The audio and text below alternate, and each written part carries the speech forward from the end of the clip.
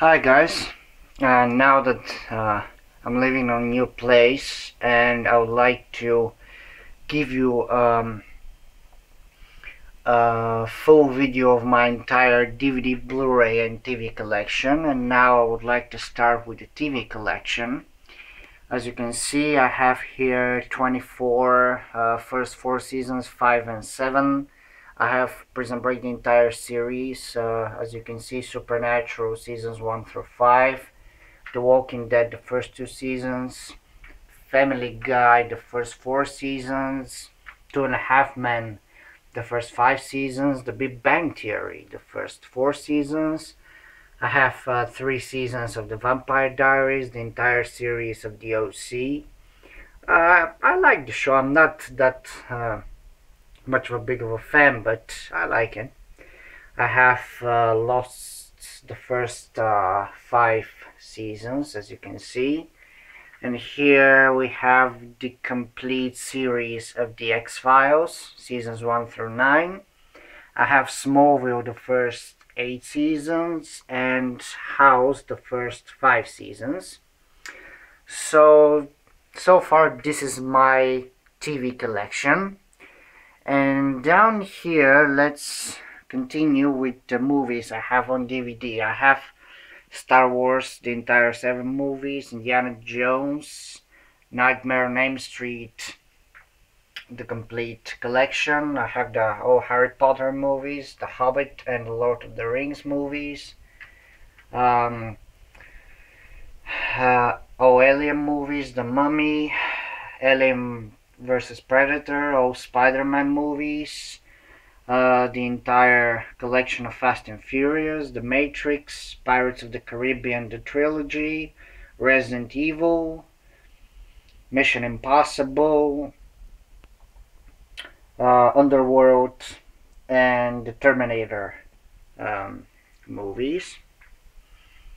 As you can see, and down here we have uh, some movies taken and here we have movies such as Die Hard, Chronicles of Narnia, Tomb Raider, Fantastic Four, X-Men, uh, Final Destination, Dark Knight, and here we have some Marvel movies such as The Avengers, Incredible Hulk, Iron Man. Uh, we have the Scream trilogy, Oceans 11 and 13, the American Pie uh, movies, uh, the Pink Panther, uh, Scary Movie 1 through 4. Here we have 300, uh, National Treasure, Jason, Freddy vs. Jason, Friday the 13th, the remake from 2009, Anacondas, two movies, Predator, Halloween, Rambo, um, Texas Chainsaw Massacre, House of Wax, the trilogy of uh, Home Alone and here on the back we have the Naked Gun trilogy.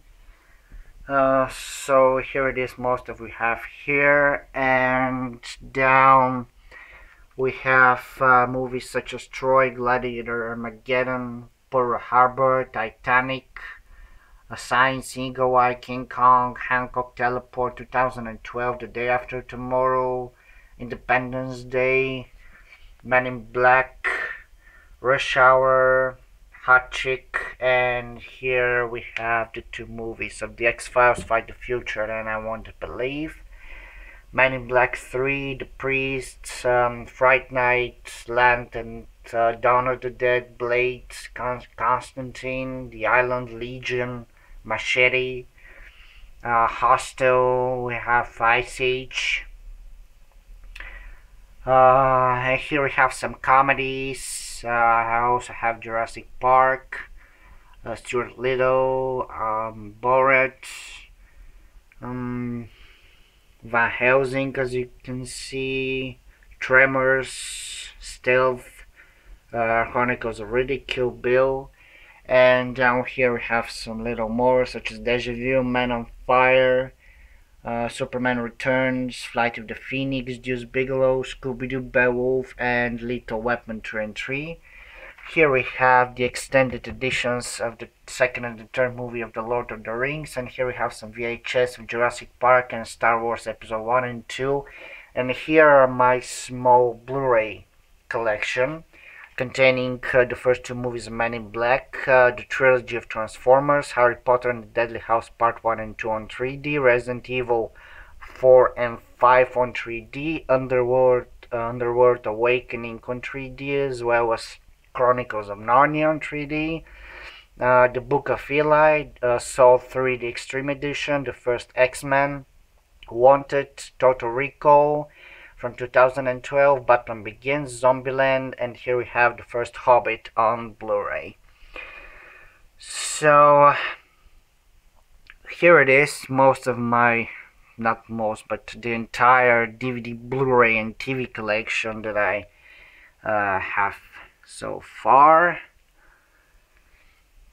Alright, so tell me guys what you think uh, let me know down in the comments and uh, tell me uh, which of the movies uh, would you prefer to watch and uh, pretty much that's it. So uh, thank you for watching and I'll keep you posted on my further videos.